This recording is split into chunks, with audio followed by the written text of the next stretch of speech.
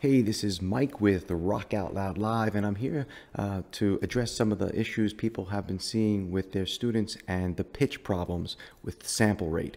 Pitch problem is when you hear something and it sounds like it's either out of tune or a half step lower, sometimes a half step higher, and that's usually caused through sample rate mismatches. So what I'd like to do is show you how to fix the sample rates or even walk your students through fixing the sample rates. You've got to make sure that the sample rates are matched, 48,000K or 44.1 thousand K. So that's important. So I'm going to show you how to do that. To start, you want to go to the Windows tab and you want to do a search for Control Panel.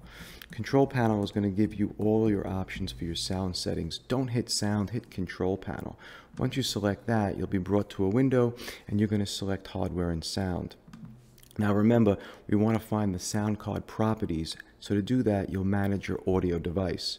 It's important to know what audio devices you are using. I happen to be using right now a Fifine mic for my speakers and also a Fifine mic for my microphone. So if I was to select my speakers here, I could select that, check the properties, and then go to the Advanced tab. The Advanced tab will tell me that I'm in 48,000 hertz.